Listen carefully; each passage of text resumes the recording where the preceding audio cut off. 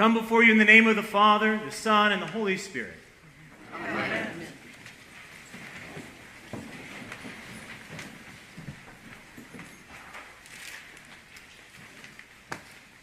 Welcome to Advent 3. Special thing in year B, where we get John the Baptist back to back.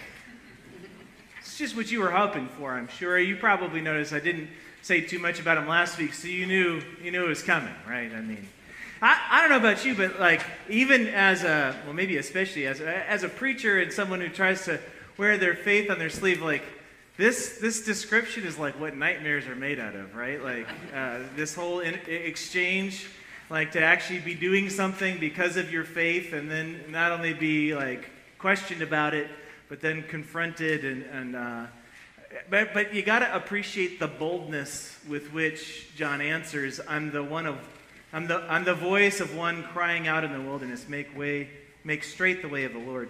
Now, if that's not enough, you know, that, that notion of uh, living into our own call with the same sense of conviction that John the Baptist is, we're going to hold it in tension with this uh, re- second reading from First Thessalonians, where it says, Rejoice always. Remember what John was feeling. Rejoice always. Remember what John was feeling. Rejoice always. Pray without ceasing. Well, that might be easier if we're going to do it like John did. But give thanks in all circumstances, for this is the will of God in Christ Jesus for you. It's harder to do when the Pharisees come knocking and ask who you are and what you're up to. Hard enough to probably live into this rejoice always, pray without ceasing, and give thanks in all circumstances because, well, frankly, sometimes we don't feel like it right? I mean, even, even in the best of times, there's uh, subtle reminders of life's challenges.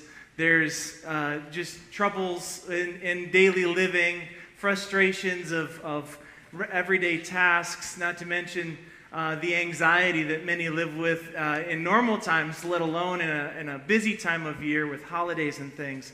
Rejoice always, pray without ceasing, give thanks in all circumstances no pressure, good luck, have fun, amen. No. Rejoice always, pray without ceasing, give thanks in all circumstances. It may, it may help a bit to be reminded that our praying without ceasing does not require us to say, Dear Lord, or end uh, with Amen. This is an encouragement to live a life that is framed in prayer that may begin, Dear God, and end in Amen. But it is also to say that our very living becomes a prayer when we try our very best to align all that we do and all that we are with the call of the gospel and who Jesus instructs us and models for us to be an embodiment of the love of God. Well, boy, if that's prayer, then it certainly also makes the rejoice always and giving thanks a bit easier as well as we endeavor to embody the way, the truth, and life that we see in Jesus. And still, it challenges us. Couple of reflections from the week that may help uh, articulate some of this for us. I, I was having a, a great conversation with somebody from Ascension, and they had noticed that on paper, uh, my name had words around it, and then in person, some people call me different things. They said, Are you a priest or a pastor? And I said, Yes. no, I was I didn't say it quite like that, but I said, Well, in the Episcopal tradition, I am considered a priest. And they said, But there's other words around your name on your email. And I said, Yeah, that's where it gets weird, right? Because on paper, the ordained of the Episcopal Church are the Reverend and then the name, and then we add other things in depending if they're, you know, if you're a bishop, they put the right in front of Reverend, and if you're a uh, a dean of somewhere, you're the very reverend, and so on and so forth. We'll leave all that to the side for now. We'll park that for like a confirmation class or something. But the reverend, no, nobody calls me the reverend in person, and, and, and while some go by that, it would be a little jarring to me. Uh, but it is an indication of my ordination, that is my priesthood. And they said, uh, but what do I call you? And I said, you can call me Paul. Some call me Father Paul. Some may call me Pastor Paul. All of those it depends on your piety, and it matters less to me. I, would like to align myself a little bit with John. Who do these people say that you are? And, Paul saying, uh, uh, a, a, child of God? You know, like, for, I'm, I'm right there with you. So I know for some, titles are, are more important than others. The, the title rector is interesting too because you have to be a priest to be a rector and, and, but it's a particular part of the call, right? So on the, the Sabbath, for example, the, the rector part of my calling is my work, and so I try to set it aside. And some of you who've seen me on Friday, I said, well, we could talk about anything but the church, right? That's to say you can still talk about God, and Scripture, and certainly there are a lot of other interesting things to exchange thoughts about. But uh, you can't set aside one's priesthood on your day off. It's still very much a part of who you are. In the same way, you don't ever set aside your baptism, it, it is inextricably linked with who you are as a child of God. And it is good cause to rejoice always. Maybe the high calling of it is to pray without ceasing and to give thanks in all circumstances. I would like to say just a little bit more about the Gospel of John in light of all of this. Now, I, I like all of the Gospels, and I'm glad we get a portion of each of them over the course of our lectionary cycle. John, John, as much as I love him, he'd be a very boring Christmas pageant. There'd be, there'd be one child dressed in black, perhaps a beret, the word became light, and they just have a long monologue, right? It's actually part of my favorite way of thinking of the Christmas story, but it's not the, the pageantry uh, and the, the exaltations of Matthew, Mark, and Luke that help us to understand his childhood, his birth narrative.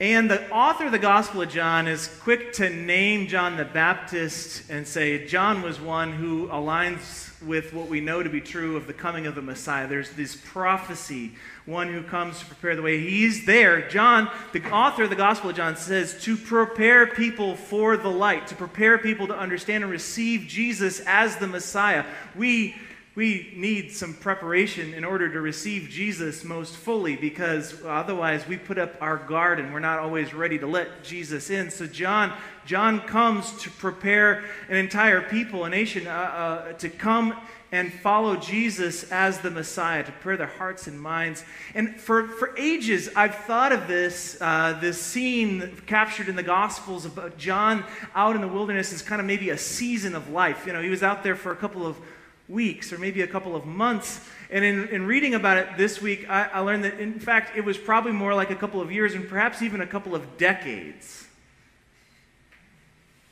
that he was out there. And if you've ever tried to share your faith and felt like it maybe fell on deaf ears, I'll remind you John the Baptist, who prepared the way for Jesus, did so for a very long time. Yes, he got people's attention. Yes, people came out into the wilderness to hear him. Yes, people repented and were baptized by him, but it was his life's work to prepare people for the coming of the Messiah, and it took a while. And he did so. Author of Gospel of John names him as John, but John himself is as if to say, My name's not important because there's something else that is so important. Who I am doesn't matter. What I'm here to tell you is what matters. He's saying, I am not the Messiah when they come asking, Who are you? And they start to ask, What then? Are you Elijah? And they say, I, I, He says, What then? Are you Elijah? He says, I am not. Are you the prophet? He answers, No. I'll point out to you, his answers keep getting shorter.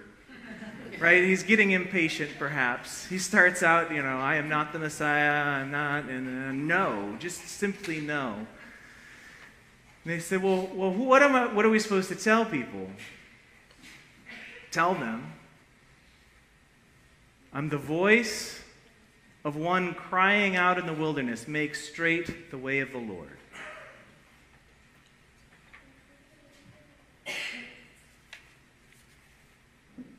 May it be said of us also that we're the voice of one crying out and clearing a path in this season of Advent for others to find and experience the fullness of God's grace, mercy, and love. Each in our own way. The Pharisees may come in their own forms, in their own times, and in their own ways to question us. May we endure in sharing the very real presence of God that we have experienced, that they may also experience this love of God. Because indeed, as we embody the love of Christ and share it with those who surround us in this place, in our families, in our community, in our living, we'll have cause to rejoice always. It will cause us to pray without ceasing, and give thanks in all circumstances. Amen. Amen.